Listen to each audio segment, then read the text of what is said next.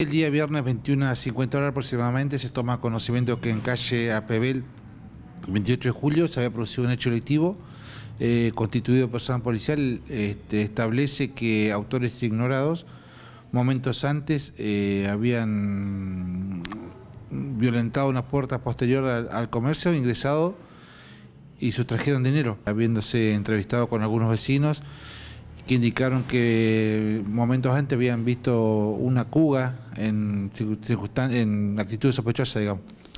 Eh, bueno, del rastrillaje surge que a, la vuelta, digamos, hay una, un vehículo de similares características, el cual es identificado, bueno, después se establece que este auto había sido sustraído hace más o menos en enero, febrero de este año, en jurisdicción de la Comisaría Tercera. El día sábado, eh, también 021.30, 21.40 horas, eh, personal de Comisaría Cuarta eh, que andaba patrullando por la zona sur, observa a un sujeto que ingresa a un domicilio, se reporta, el personal policial que lo ve, lo reconoce como un conocido delincuente de la ciudad de Trelew, ante ello, bueno, en forma inmediata eh, se va al lugar con intención de tenerlo, este sujeto cierra la puerta. Cuando estos sujetos intentan darse la fuga por la parte posterior, eh, se logran aprender a uno y eh, bueno, otros empiezan la, huida por, digamos, por distintos sectores de la cuadra, que también son detenidos por personal de la Comisaría Cuarta y del grupo de intrusión rápida de la ciudad de Trelew.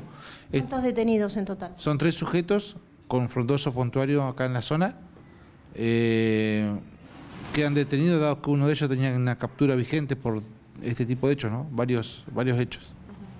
Eh, ¿Podemos mm, decir que se trata de la banda conocida como Los Ramones, algunos de ellos? Sí, sí, son los mismos, exactamente. Son ellos. Eh, se les logró secuestrar eh, dinero que habían, ya se habían alzado, no, mm, dólares de un, señor, una cámara fotográfica de mm, importante valor y documentación.